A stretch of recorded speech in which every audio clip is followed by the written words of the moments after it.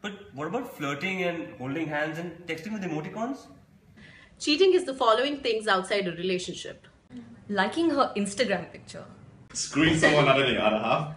Coitus. Copulation. Fornication. Procreation. Making love. Score. Her. She means men or women in general. I think men are more likely to cheat because men men are generally more horny. So I think men are more likely to cheat because uh, I think statistics have shown that as well. Uh, I think men are more hormonally charged in that sense. Men? Because, you know, they think from their smaller head. It's called a penis.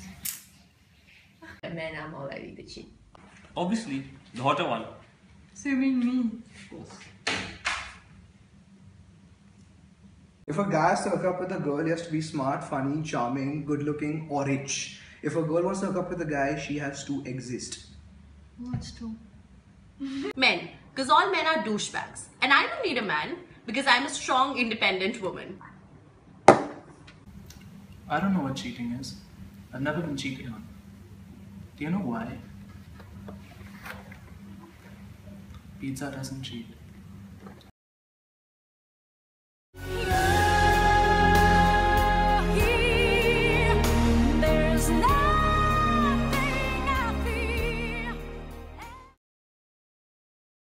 Are men more likely to cheat on their partners than women?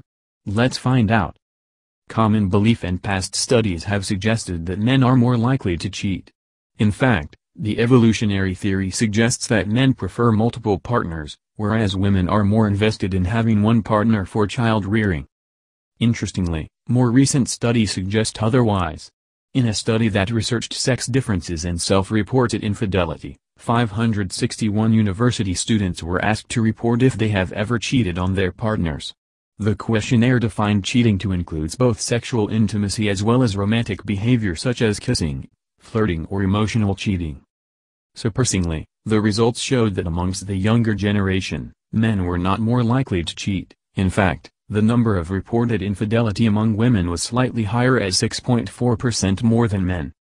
The same study was then conducted for a mix of university students and adult participants. The definition of infidelity was the same, but this time they included a separate question for infidelity in the form of sexual intercourse.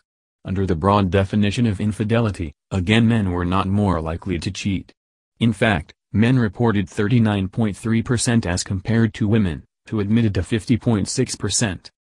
However, in the narrow definition that included only sexual intercourse, there was no material difference between men and women, with a reported 20% and 19% respectively. So why is it that among the younger generation, we no longer see gender differences in infidelity? Does this suggest that the evolutionary theory could be obsolete? A study on power's effect on infidelity suggests that rather than gender, power is a more significant factor for infidelity. That is, powerful people are more likely to be infidel. One effect of power is confidence.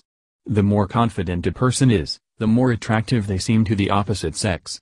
It also makes one optimistic about the possibility of sexual interest in potential partners. The study involved 1,275 working professionals and sought to measure power's effect on intended infidelity and actual infidelity. Power was measured by asking participants to indicate their position in their organization. The study revealed that power was positively associated with infidelity and that it would increase confidence, strengthening the power-infidelity link. Interestingly, other mediators like psychological distance and the perceived risk of one's partner finding out were also measured but proved to be insignificant. In the past, men were more likely to cheat, which could be attributed to the significant difference in socioeconomic position between men and women in those times. However, among the younger generation, differences in socioeconomic position between men and women are immaterial. Hence, women with power are just as likely to commit infidelity as men and thus this shows that gender is not a moderator in infidelity. Thus we can conclude that the myth that men are more likely to cheat has been busted. Thank you for watching.